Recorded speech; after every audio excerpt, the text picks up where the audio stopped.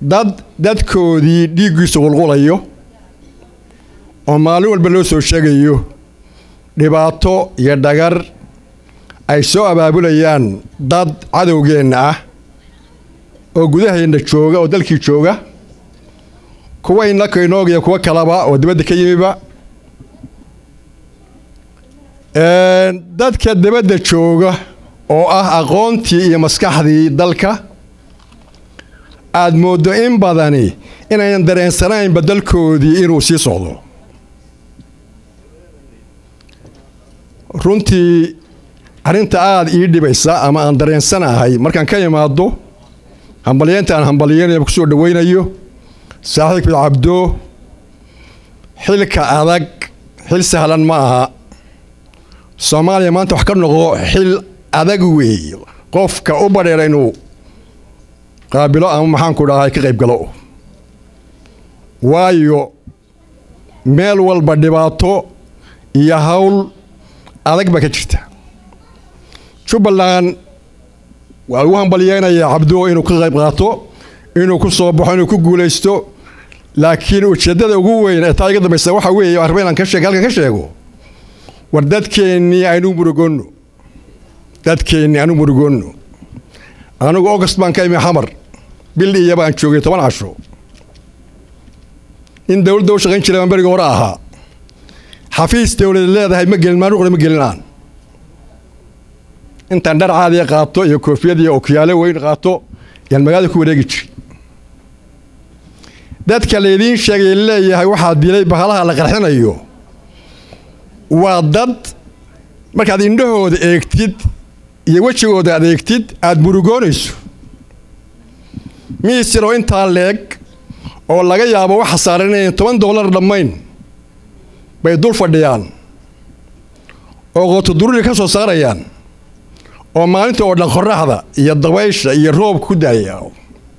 Markaasaa waxaa laga halkaa isagoo fadhiya inay la boodo bahashi la boodo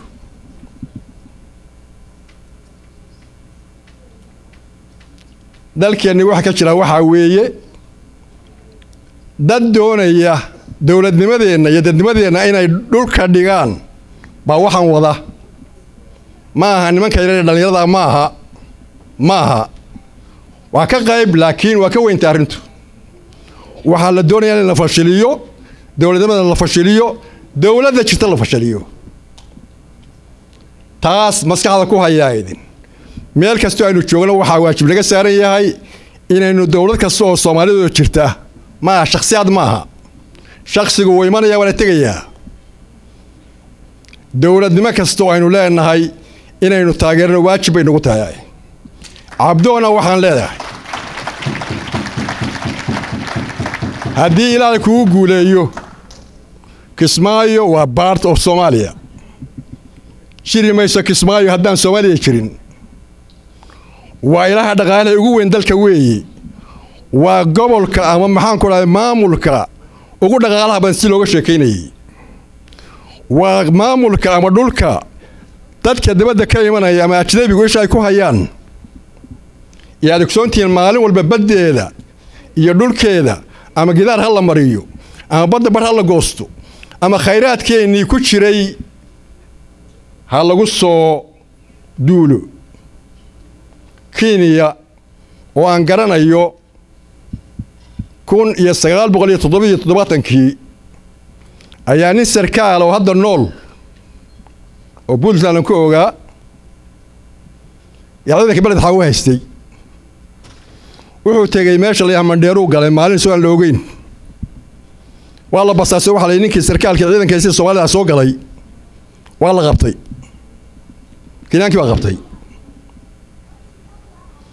Markii ciidankiisii loo soo sheegay waa la qabtay sarkaalkii ciidankii baa la soo dhoobay xadka.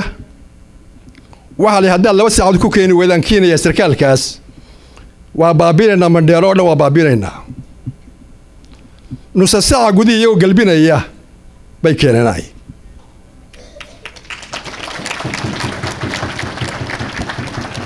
maantana baddeenni bay leeyihiin khayraadka ku jira annagaa leh